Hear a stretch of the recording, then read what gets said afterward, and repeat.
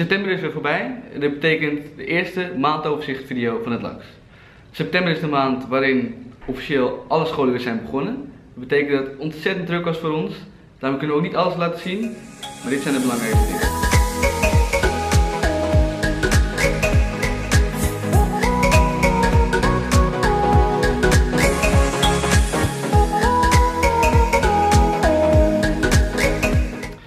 Maand begon voor ons heel erg leuk. We zijn met iedereen van LAX, Job en Combo, alle bestuursleden en medewerkers, op zeilweekend geweest op Terschelling. Nou, en het zeilweekend was ontzettend leuk, maar het is niet zonder reden. We leren elkaar ontzettend goed kennen en dat is gewoon heel erg belangrijk als je de rest van het jaar nog met elkaar moet samenwerken. En na het zeilweekend was er tijd om hard aan het werk te gaan. Bijvoorbeeld rondom de burgercontracten. Ook dit jaar kregen we meer meldingen van scholen die leerlingen verbieden om examen te doen omdat ze niet goed voorstaan.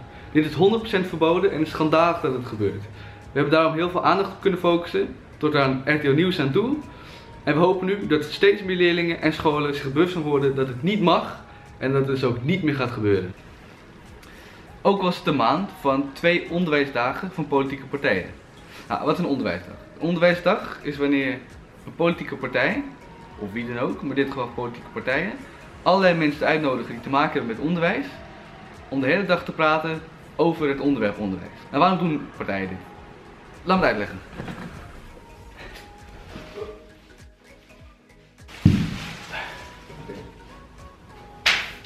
Oké, in Nederland heb je.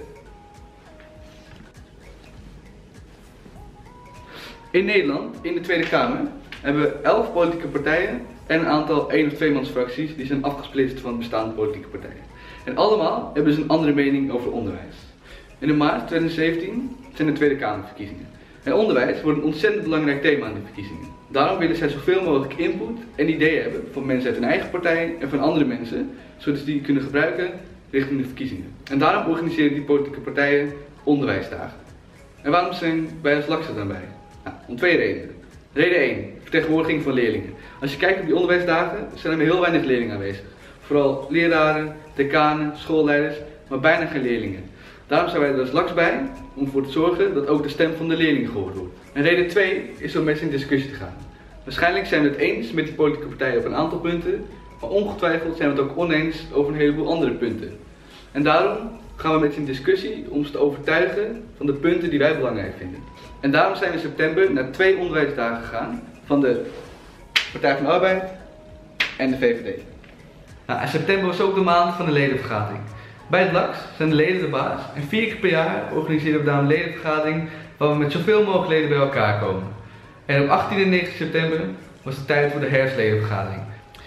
Daarnaast is algemeen bestuurslid Nico deze maand heel erg druk bezig geweest met zijn portefeuille schoolklimaat. Onder schoolklimaat valt bijvoorbeeld pesten. En pesten is altijd een lastig, maar groot thema geweest in het onderwijs. En daarom wil hij er iets mee gaan doen. Deze maand is de kinderombudsvrouw bij ons op kantoor geweest en hebben we met haar gepraat. En Nico is bijvoorbeeld in gesprek geweest met politie, met wijkagenten die langs scholen gaan. En hij wil met nog veel meer organisaties om tafel gaan om te kijken wat kunnen we nou doen rondom het thema pesten. Ook heel erg belangrijk deze maand was onderwijs 2032. In onderwijs 2032 staat de vraag centraal: wat moeten leerlingen kennen en kunnen om goed mee te kunnen draaien in de samenleving en arbeidsmarkt van 2032. Daar is eerder al een eindadvies uitgebracht aan de overheid en nu wordt in de verdiepingsfase gekeken naar wat er praktisch haalbaar en wat gebeurt er op scholen. Daarom hebben wij een peiling uitgezet onder een heleboel scholieren in Nederland met een lijst van vragen wat zij vinden van de belangrijke thema's in onderwijs 2032 en ook hebben we een panel georganiseerd met 30 VMBO'ers en 30 HAVO-VWO'ers. Zij gaan als het goed is op hun eigen scholen met leerlingen in gesprek om te vragen wat zij ervan vinden. En dan komen de panelleden bij elkaar om met elkaar in discussie te gaan over de resultaten die zij hebben gevonden op hun scholen.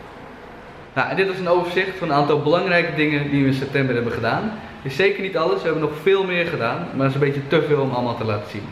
Jullie kunnen altijd onze vlogs bekijken om nog beter beeld te krijgen van wat we aan het doen zijn. En volgende maand is er weer een nieuw overzicht.